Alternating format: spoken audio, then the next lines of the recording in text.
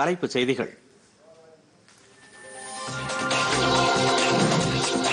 நீலகிரி மாவட்டம் குன்னூர் அருகே ராணுவ ஹெலிகாப்டர் விபத்தில் முப்படைகளின் தலைமை தளபதி பிபின் ராவத் உட்பட பதிமூன்று பேர் உயிரிழப்பு. உடல் இன்று தில்லி கொண்டு செல்லப்படுகிறது.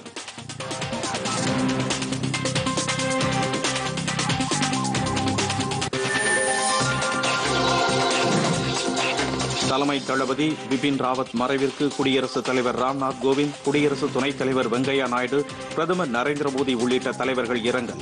வீர திருமகனை நாடு இழந்து விட்டதாக புகழாரம்.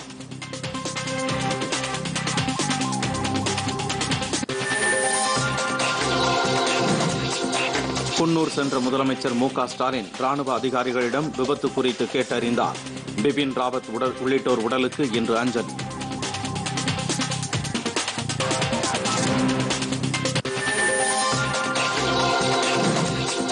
பிரதமரின் கிராமப்புற வீட்டு வசதி திட்டம் வரும் இரண்டாயிரத்து இருபத்தி நான்காம் ஆண்டு மார்ச் மாதம் வரை நீட்டிப்பு. மத்திய அமைச்சரவை ஒப்புதல்.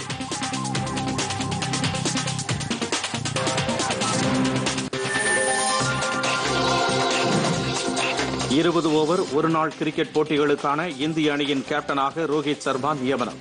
தென்னாப்பிரிக்காவுக்கு எதிரான டெஸ்ட் அணியும் அறிவிப்பு.